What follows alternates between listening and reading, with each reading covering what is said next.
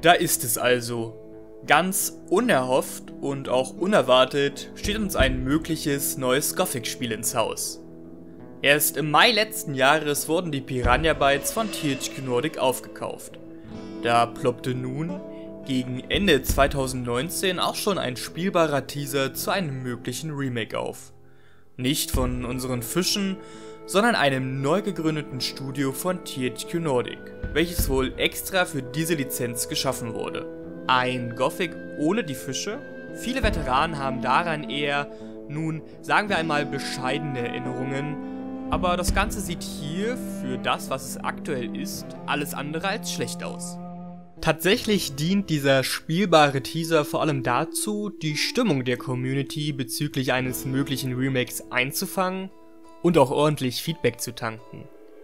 Und ich muss sagen, genau so stelle ich mir das eigentlich vor, wenn man mit einer relativ sensiblen Lizenz arbeitet und diese neu auflegen möchte. Denn machen wir uns hier nichts vor, ein Spiel wie Gothic, an welches für viele enorm viel Nostalgie gebunden ist, lässt sich nicht einfach so neu aufsetzen. Dazu gehört Fingerspitzengefühl, Verständnis für das Original und Mut. Denn man wird hier niemals alle mit einem solchen Ansatz glücklich machen können. Und das ist völlig normal. Doch wie sieht es nun eigentlich aus? Wie fand ich den Teaser, nachdem ich ihn ein wenig mehr spielte als in meinem instinktiv angespielt und meine Eindrücke zum Spiel auch ein wenig sacken lassen konnte? Ich kann schon vorab verraten, das Ganze macht bereits jetzt einen guten Eindruck besitzt aber auch eine Menge Ausbaupotenzial. Doch genau dafür war dieser spielbare Teaser ja auch gedacht, um sich schon früh mit den Fans der Reihe kurzschließen zu können.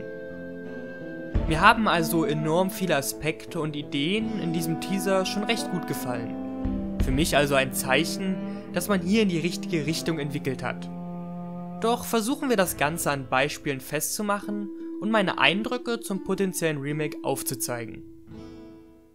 Dass ein Remake Dinge wie den Einstieg ins Spiel für sich überhaupt abändert, ist durchaus diskussionswürdig. Ich liebe ja den ruppigen Einstieg des Originals. In die Kolonie geworfen und von Bullet getauft. Keine netten Worte, kein Händchen halten. Einfach der Alltag in einer Gesellschaft, die von Verbrechern begründet wurde. Das Remake wählt im spielbaren Teaser einen durchaus anderen Weg. Eine Explosion, wir fallen in die Tiefe und moppelige Snapper überfallen uns. Doch wenn ich so darüber nachdenke, steckt hier bereits eine Menge Potenzial. Denn tatsächlich macht es Sinn, dass gerade der Austauschplatz ein interessantes Angriffsziel darstellt. Im Original macht sich der beständige Kampf zwischen dem alten und dem neuen Lager in einigen Quests durchaus bemerkbar. Zwar werden Überfälle von Konvois des alten Lagers durch die Banditen des neuen Lagers lediglich erwähnt, aber es ist klar, dass diese stattfinden. Und natürlich sind die Waren, welche der König im Tausch gegen das magische Erz ins Tal schickt, für das neue Lager extrem interessant. Ein Überfall des Austauschplatzes macht also Sinn und ich hoffe, dass hier das neue Lager seine Finger im Spiel hatte. Hier sollte aber ein wenig angepasst werden. Nachdem der so enorm wichtige Austauschplatz überfallen wurde, müsste umgehend eine Streitmacht von Gardisten auftauchen, um die Lage zu sichern. Man darf ja nicht vergessen, dass das alte Lager von der Versorgung durch den König abhängig ist. Vermutlich ist dies auch einfach dem Demo-Level selbst geschuldet, als Feedback will ich es aber dennoch anbringen. Sicher ist sicher. Fassen wir also zusammen. Die Idee, dass der Austauschplatz angegriffen wird, ist gelungen und gerne würde ich mehr über die Hintergründe in Erfahrung bringen. Ob man dafür nun aber den Start ins Spiel in dieser Form abändern sollte, nun, das lässt sich nicht ganz so leicht beantworten. Das Ganze kann funktionieren. Immerhin könnte hier der schwelende Konflikt zwischen dem alten und dem neuen Lager aufgegriffen werden, welchem neue Gefangene zunächst nur schwer entgehen können. Dennoch ist es vielleicht auch ein wenig zu viel für den Start. Setzt man es gut um, kann ich aber wohl recht gut mit einer solchen Änderung leben. Im Zweifelsfalle würde ich den Angriff auf den Austauschplatz einfach in ein späteres Kapitel der Story verlegen.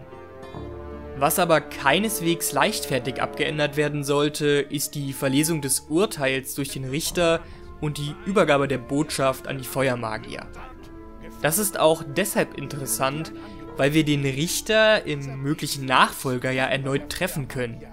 Und auch sonst zeigt sich in dieser Szene schon recht eindrucksvoll, wie der Namenlose eigentlich so gestrickt ist. Gut, ich werde deinen Brief nehmen. Unter einer Bedingung. Erspart mir den Rest von seinem Gefasel. Du wahr. Schweig! Gut, hinein mit ihm.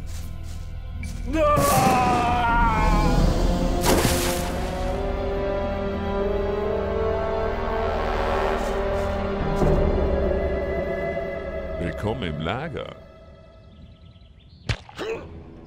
Das reicht. Lasst ihn in Ruhe. Diego ist als erste mögliche Bezugsperson nicht zu schlecht im Teaser eingesetzt.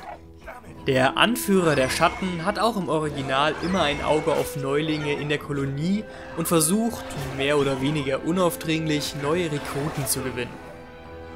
Im Teaser rettet uns Diego nicht etwa vor den Schlägen eines Bullet, sondern davor, von hungrigen Snappern verputzt zu werden.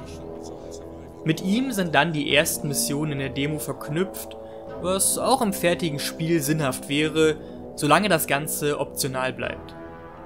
Diego besitzt ein kleines Lager in der Nähe des Austauschplatzes, was ebenfalls zu dem einfallsreichen Dieb passt.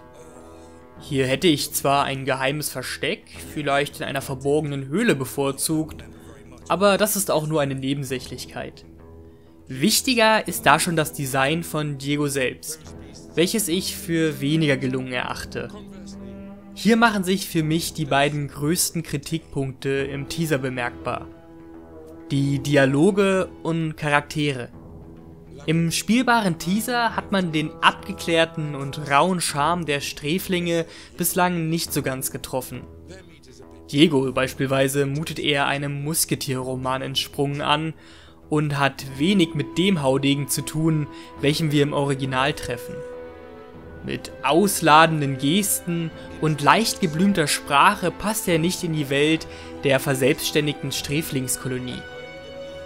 Diego und auch die meisten Charaktere in der Kolonie waren unaufgeregte Gesellen. Direkt, nicht groß um den heißen Brei herumschwadronierend. Das Gegenteil von dem, was unser Musketieranwärter Diego im Teaser präsentiert. Ich verstehe durchaus die Intention dahinter, aber sie passt einfach nicht in diese Spielwelt. Hier muss dringend angepasst werden, auch wenn wir auf das Charakterdesign der anderen Bewohner der Kolonie blicken. Sonst könnte das in eine ganz falsche Richtung laufen. Auch der Namenlose macht mit seinen vielen Kommentaren keine allzu gute Figur. Der Held ist ja ebenfalls ein recht abgeklärter Typ bevorzugt schnippische Kommentare und wählt in der Regel zwischen Konfrontation oder Flucht. Hier wird uns ein gänzlich anderer Ansatz präsentiert, der zu einem modernen Actionhelden passen mag, aber dem Namenlosen in keiner Weise gerecht wird. Now it's just you and me, my friend. Oh, God damn it. Oh, I'm in one piece. Oh, thank God, no blood. What a mess. Okay. Good. Oh, God damn it. Let's get the hell out of here. Oh my god, what the hell? I'll leave it here for a moment. Okay, easy boy. Well, this doesn't look good at all. Auch wenn ich einem Remake viel künstlerische Freiheiten zugestehe, so kann man der Hauptfigur nicht ein fremdes Image aufdrücken. Hier heißt es eindeutig Hausaufgaben machen, denn immerhin soll die Essenz des Namenlosen eingefangen werden, wie wir ihn aus den Originalen kennen und lieben gelernt haben. Besser als die Charaktere präsentiert sich die größte Beispielquest. Eine unserer ersten Aufgaben ist es, uns eine ordentliche Waffe zu besorgen. Und tatsächlich ist das zerbrochene Schwert, welches wir zunächst schwingen, vor allem ein Garant dafür, dem nächsten Rudel Wölfe als Mahlzeit zu dienen. Es ist also dringlich, dass wir uns besser ausstatten. Wir sollen uns umschauen und treffen früher oder später auf Caden, welcher uns einen Deal vorschlägt. Wir besorgen ihm ein Amulett, und er überlässt uns die Waffe eines der Opfer des nächtlichen Angriffs. Soweit so generisch ist die Geschichte noch. Ich finde es erzählerisch auch etwas dämlich, dass der Held selbst die Waffe eines Toten als Belohnung einfordert, die wir ja in den ersten Spielminuten auch schon hätten nehmen können. Aber in Ordnung. Wir sollen also losziehen und dieses Amulett von seinen Kollegen besorgen. Wir stolpern also weiter durch die Welt und finden die Kerle. Die sind gerade dabei, sich gegenseitig die Schädel einzuschlagen. Einer unterliegt und natürlich geraten nun auch wir ins Fadenkreuz. Nach dem Kampf bleibt uns die Wahl. Verschonen wir den Kerl oder geben ihm den Gnadenstoß? Keine Frage, wären wir unterlegen gewesen, hätte er uns nicht so leicht davon kommen lassen. Aber dass man uns die Wahl lässt, gefällt mir sehr. Vor allem, weil diese Entscheidung im späteren Spielverlauf durchaus Konsequenzen mit sich bringt. Lassen wir ihn am Leben, riskieren wir, dass unser Auftraggeber das nicht ganz so entspannt aufnehmen könnte. Zugleich erhalten wir die Möglichkeit, seine Wunden zu versorgen und ihm so das Leben erneut zu retten. So haben wir sicherlich etwas gut und man trifft sich ja bekanntlich immer zweimal im Leben. Doch was ich wirklich gut finde, ist der Umgang mit dem Amulett, welches sich schnell als Schlüssel für ein Geheimversteck entpuppt. Und auch hier gibt es wieder unterschiedliche Wege, wie wir damit umgehen können. Folgen wir den Anweisungen von Caden, bringen wir ihm den Schlüssel und erhalten das alte Schwert. Die Waffe ist zwar ein Upgrade, aber auch nur wenig besser als unsere gebrochene Klinge zuvor. Interessanter wird es, wenn wir selbst das Versteck suchen. Dort soll nämlich auch ein Schwert zu finden sein, für uns also eine interessante Option. Wenn wir nun also das Versteck finden und freudig plündern, gibt es zwei mögliche Ausgänge unseres kleinen Raubzugs. Haben wir zuvor mit Caden gesprochen und ihn über den Verbleib des Schlüssels belogen, wird er uns am Ausgang der Höhle auflauern und zu einem der stärksten Widersacher im Teaser werden. Ließen wir den Zwischenstopp bei unserem Auftraggeber jedoch aus und brachen umgehend zum Geheimversteck auf, können wir es entspannt ausräumen, ohne die Rache eines Caden fürchten zu müssen. Auch wenn das unter Umständen bedeutet, dass andere die Suppe auslöffeln müssen. Das Ganze ist ziemlich gut gelöst, auch weil es Sinn macht. Sobald wir darüber berichten, dass wir Cadens Kollegen getötet haben, aber das Amulett bzw. der Schlüssel verschwunden bleibt, wird Caden misstrauisch und entsprechend das Versteck im Auge behalten. Überbringen wir wiederum den Schlüssel, vergessen aber einen Beweis für den Tod seines Kollegen zu liefern, wird Caden die Umgebung absuchen und schließlich fündig werden. Es gibt also eine ganze Reihe von Ereignissen, die abhängig unserer Entscheidungen eintreten können. Großartig. Für mich sollten Quests in Rollenspielen Sinn innerhalb der eigenen Spielwelt machen. Ich will nachvollziehen können, warum eine Aktion für einen Charakter wichtig ist und auch wie er darauf reagiert, wenn es nicht so läuft, wie dieser es sich wünscht. Nur so kann eine wirkliche Immersion entstehen. Diese Quest zeigte mir, dass die Entwickler hier auf einem guten Weg sind. Bitte mehr solcher Missionen. Gerne auch mit langfristigen und nur schwer zu überblickenden Konsequenzen gekoppelt dann würde ich mich extrem auf zahlreiche neue Missionen freuen. Denn sind wir mal ehrlich, das Original hatte abseits der Hauptquests recht wenig Nebenmissionen und Aufgaben. Hier bleibt also sehr viel Raum für das Remake, sich frei zu entfalten und ganz eigene Wege zu beschreiten. Kommen wir nun zur Optik. Die Grafik von Spielen ist ja generell ein Aspekt, an dem sich die Geister durchaus scheiden. Ich persönlich liebe die Grafik des Originals, bin aber durchaus offen, das Ganze in neuem Glanz erstrahlen zu sehen. Die vielen Grafikmods da draußen beweisen zudem, dass ich mit dieser Einstellung nicht ganz alleine bin. Und natürlich muss ein Remake auch einfach die technischen Möglichkeiten seiner Zeit ausnutzen. Sonst kann man sich den Aufwand auch direkt sparen.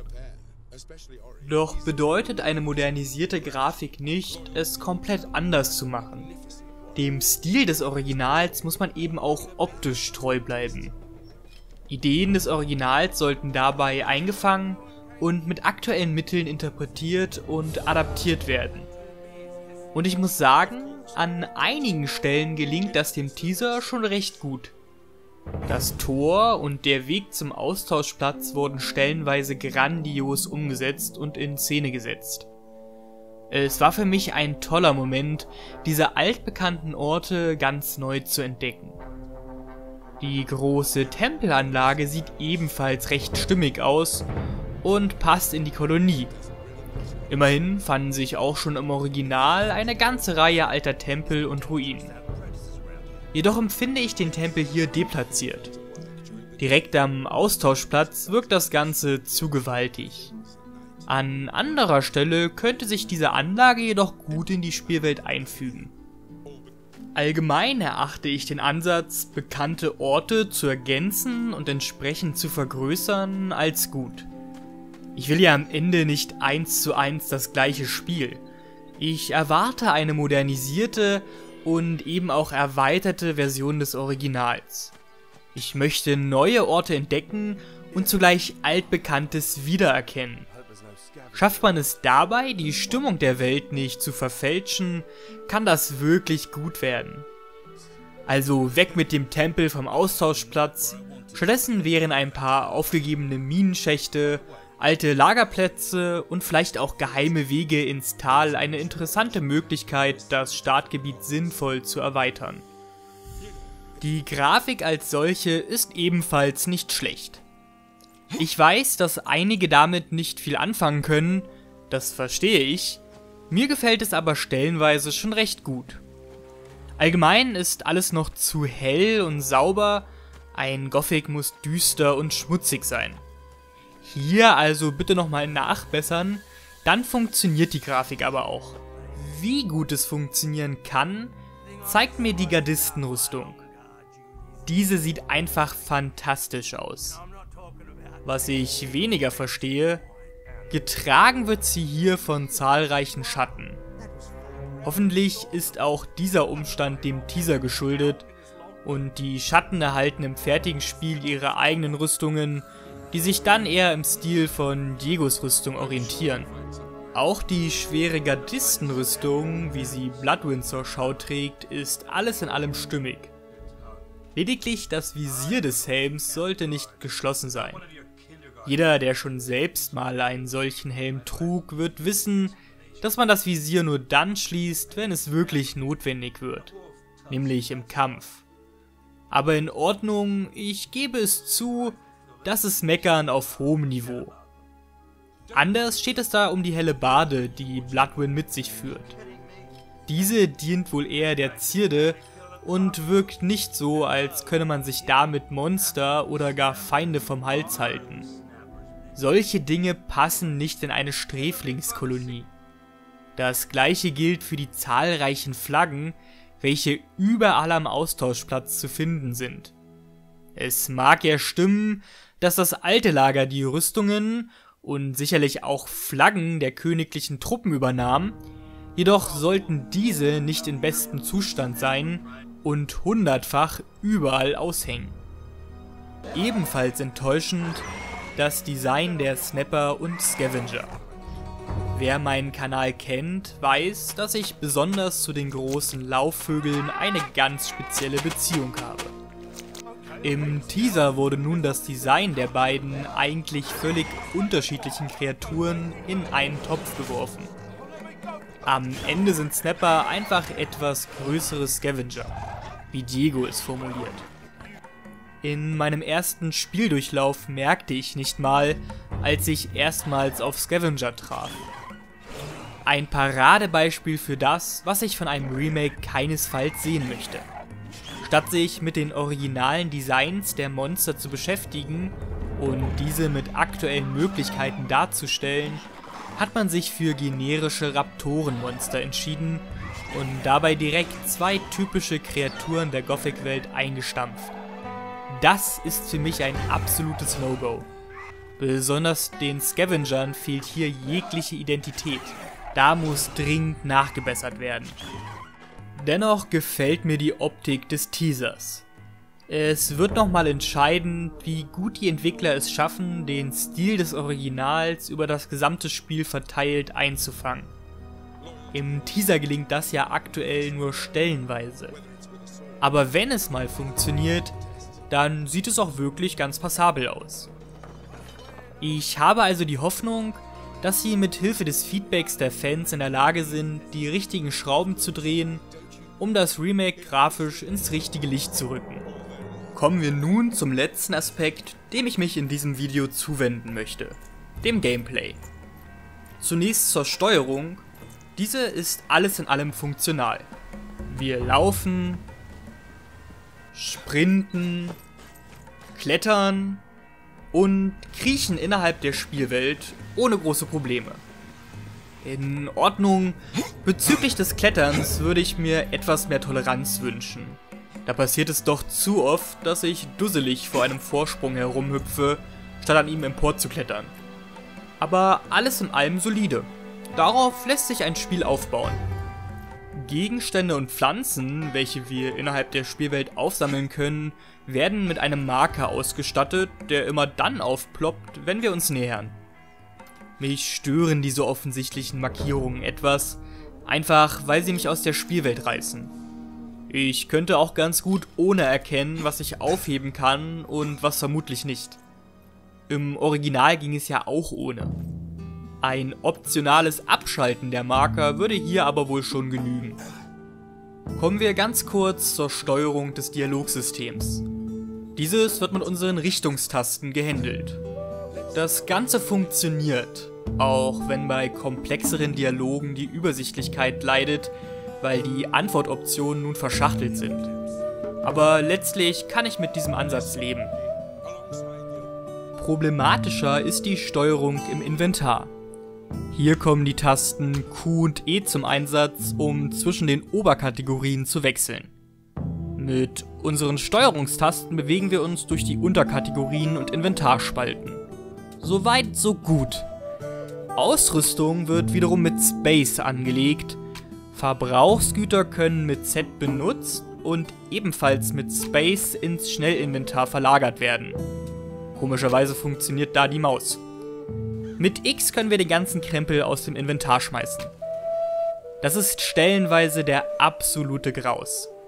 Meine dringende Empfehlung, implementiert eine Maussteuerung, damit ich mit dieser die vielen Kategorien direkt ansteuern kann. Alles andere ist unpraktikabel und fühlt sich sperriger an, als es sein müsste. Loben möchte ich aber die vielen Details, welche in das gesamte Inventar geflossen sind. Gegenstände werden toll dargestellt und sind mit allerlei Informationen ergänzt. Ähnliches gilt für unsere Missionen, entdeckte Orte oder bekannte Personen. Und das gefällt mir schon ziemlich gut. Damit lässt sich arbeiten. Meine abschließende Empfehlung? Entschlackt das Inventar ein wenig und sorgt für mehr Übersicht. Implementiert eine direkte Maussteuerung und dann wird das eine runde Sache. Für einen Prototypen bereits sehr gelungen, das Kampfsystem. Ich gebe es zu, es war keine Liebe auf den ersten Blick, aber nach einiger Spielzeit schätze ich die Kämpfe im spielbaren Teaser sehr. Das System ist relativ komplex und zum Glück kein stumpfes Tastengehaue. Stattdessen müssen wir auf die Schläge unserer Gegner reagieren, parieren, ausweichen, gezielt eigene Treffer setzen und dabei auch noch unsere Ausdauer im Auge behalten.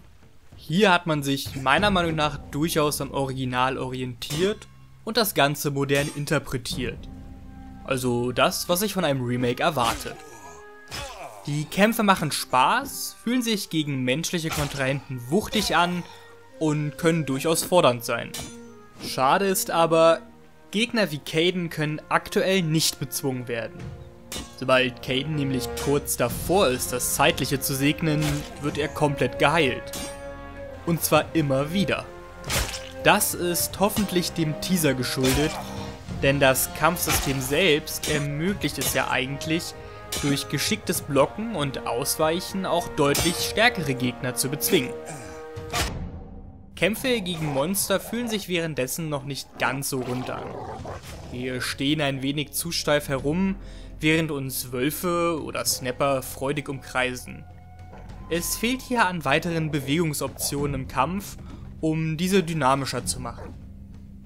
Gut sind währenddessen die besonderen Attacken der Viecher gelungen. Wölfe springen uns an die Kehle und Snapper haben einen Sprungangriff drauf, der ordentlich Schaden macht. Das sieht nicht nur cool aus, sondern gestaltet die Kämpfe auch abwechslungsreicher. Diesen Ansatz sollte man unbedingt weiter durchziehen und den unterschiedlichen Monstern der Spielwelt individuelle Taktiken verpassen. Im Ansatz war das ja auch im Original schon vorhanden. Hier kann man also gerne weiter ausbauen. Beeinflusst werden die Kämpfe durch dauerhafte oder temporäre Buffs, die wir durch Ausrüstung, Tränke oder Nahrung erhalten. Dadurch können wir zeitweise unsere Regeneration von Ausdauer steigern, bestimmte Attributwerte erhöhen oder Lebenspunkte auffüllen. Das finde ich tatsächlich gut, weil wir uns so auf besonders schwierige Kämpfe vorbereiten können. Was ich weniger gelungen finde, auch mitten im Kampf können wir entspannt ins Inventar oder per Schnellzugriff ein saftiges Scavenger-Sandwich verputzen. Wir leuchten grün und schon sind Lebenspunkte aufgefrischt. Das nimmt sehr viel Intensität aus den Kämpfen. Ich würde es wohl besser finden, wenn das Spiel nicht pausiert, wenn wir im Inventar gammeln dann würde der Schnellzugriff auch mehr Sinn ergeben. Zusätzlich sollte das Essen von Lebensmitteln oder das Trinken von Tränken zwingend mit einer Animation verknüpft werden. Das sieht nicht nur besser aus, sondern macht auch mehr Sinn. Wer Scavenger-Keulen vertilgt oder eine Nordmalsuppe schlürft, kann in diesem Moment ja nur bedingt ein Schwert führen.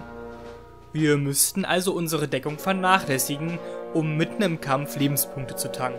Ein solcher Ansatz würde mehr Bewegung ins Spiel bringen und zugleich dafür sorgen, dass wir uns auch vor einem Kampf Gedanken machen müssen, welche Boni und Buffs wir gerne im Kampf hätten. Alles in allem halte ich das Konzept des Kampfsystems für sehr gelungen. Das Ganze macht bereits in diesem Prototypen Spaß und wenn man es weiter ausbaut und mit dem nötigen Feinschliff versieht, könnten die Kämpfe ein ziemliches Highlight im fertigen Spiel werden. Abschließend wollen wir uns den, ich nenne es mal, ergänzenden Gameplay-Mechaniken widmen. Im Teaser können wir bereits Schlösser öffnen, schmackhafte Gerichte kochen, wilde Tiere mit Fleisch anlocken und, ganz besonders wichtig, Fleischwanzen zerstampfen. Ganz kurz zu den einzelnen Aspekten. Das Schlösserknacken ist aktuell nicht mehr als eine Animation. Wir benötigen zwar einen Dietrich, Allerdings gibt es keine echte Interaktion mit dem Schloss selbst. Für den Teaser mag das noch voll in Ordnung sein, im fertigen Spiel dann aber bitte mit einem Schlösserknackensystem. Viele Gerichte lassen sich im Teaser noch nicht zubereiten, aber der Ansatz ist völlig in Ordnung. Die Nordmasuppe bekommt solide 3 von 5 Scavenger Gourmet Keulen. Wilde Tiere mit Fleisch zu locken, tja, diese Idee stammt tatsächlich aus der Konzeptphase vom Original. Ein früher Screenshot der damaligen Alpha zeigt beispielsweise einen Gardisten, wie er mit einem Wolf anbandelt. Im jetzigen spielbaren Teaser können wir wilde Tiere zwar nur anlocken, nicht etwa freundlich stimmen, aber ich finde es spannend, dass man sich mit diesem Aspekt auseinandergesetzt zu haben scheint. Verknüpft man das Ganze nun vielleicht noch mit der Option Tiere zu betäuben oder zu vergiften, könnte dieses Feature das Gameplay sehr gut ergänzen. Der letzte Punkt, Fleischwanzen zertreten, ein nettes kleines Feature, was ich mehr genossen habe, als ich sollte. Es ist halt einfach angenehm, solche Plagegeister mit einem ordentlichen Tritt loszuwerden. Wie lautet nun also mein Fazit zum spielbaren Teaser? Ich muss sagen, je länger ich mich mit diesem Prototypen beschäftigte, desto mehr Gefallen fand ich an ihm. Es gibt, wie im Video gezeigt, wirklich noch sehr viele Baustellen, aber ich habe die Hoffnung, dass diese in dieser frühen Entwicklungsphase noch behoben werden können. Wirklich entscheidend ist es nun, wie gut die Entwickler das Feedback von uns Fans verarbeiten können. Klar wurde mir jedoch auch, Keinesfalls wird man die Spielerfahrung des Originals perfekt einfangen können. So etwas lässt sich einfach nicht reproduzieren. Stattdessen hoffe ich auf eine gelungene Interpretation, welche es schafft, Bekanntes und Neues im richtigen Maße zu mischen, sodass es mich erneut in die liebste Spielwelt meiner Kindheit reißt. Ich glaube zudem, die Entwickler könnten sich sehr viel Druck von den Schultern nehmen, wenn sie statt eines Remakes an einem Prequel arbeiten würden. Aber das nur so am Rande. Am Ende kann ich nur sagen, ich habe Hoffnung, dass sich dieses Remake den Namen Gothic verdienen könnte. Es muss dafür noch viel getan werden, aber ich denke, alles wird gut.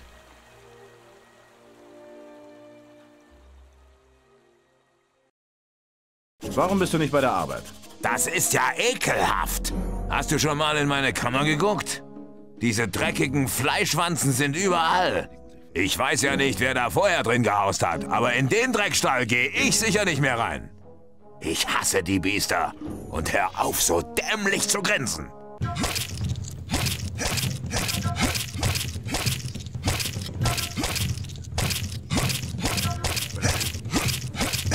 Die Fleischwanzen sind weg. Du kannst wieder deine Folterwerkzeuge polieren oder was auch immer. Bist du auch ganz sicher, dass wirklich keins von den Biestern mehr da ist? Ich denke schon. Na gut, hier, nimm dieses Gold als Zeichen meiner Dankbarkeit. Mir kommen gleich die Tränen.